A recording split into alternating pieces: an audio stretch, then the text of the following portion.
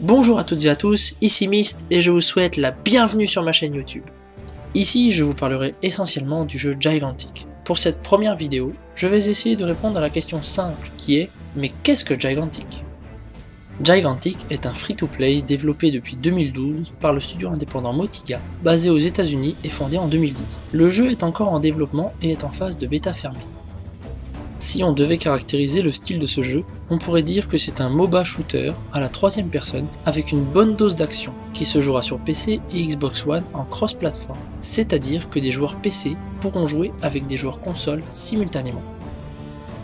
Dans Gigantic, vous avez le choix entre plusieurs personnages tous différents les uns des autres avec leurs compétences et capacités propres que vous pourrez faire évoluer au fil de la partie. Ce jeu est doté d'un gameplay dynamique et vraiment fun à jouer, mais il demande également un côté stratégique assez intéressant et non négligeable. Son style graphique original et unique rend le jeu particulièrement agréable à regarder. Pour l'instant, deux cartes sont jouables, Canyon et les chutes du sanctuaire, anciennement appelées Brumeforge. Ces cartes ne sont pas plates et comportent beaucoup de verticalité, ce qui rend les déplacements lors des combats vraiment intéressants à voir. 15 personnages sont pour le moment disponibles, Roland ayant été retiré de la sélection des héros pour être retravaillé. Mais Motiga a récemment parlé de 30 personnages disponibles lors du lancement officiel de Gigantic, courant 2016. Maintenant, je vais essayer de vous parler du jeu en lui-même et de ses mécaniques. Gigantic, comme vous avez dû vous en rendre compte, signifie gigantesque. Effectivement, dans ce jeu, chaque partie oppose deux équipes de 5 héros contrôlés par les joueurs qui ont à leur tête deux gardiens gigantesques, un naga et une griffonne.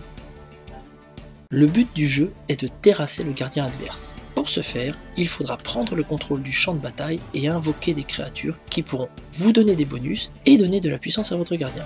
Ou alors, éliminer les héros adverses, ou encore, attaquer directement le gardien ennemi pour lui voler de la puissance. Autant vous dire tout de suite qu'ici le jeu d'équipe est primordial, car seul, vous n'y arriverez pas. Une fois que vous aurez collecté assez de puissance, votre gardien attaquera le gardien ennemi. À ce moment précis, l'autre gardien sera vulnérable et vous pourrez frapper son cœur pour lui enlever une barre de jauge de vie.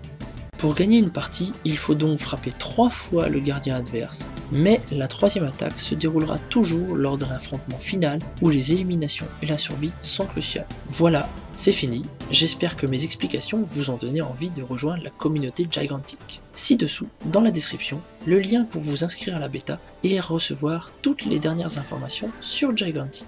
Merci beaucoup d'avoir pris le temps de m'écouter. N'hésitez pas à vous abonner, partager ma vidéo si elle vous a plu. Encore un grand merci. Et pour finir, je vous laisse sur un petit trailer.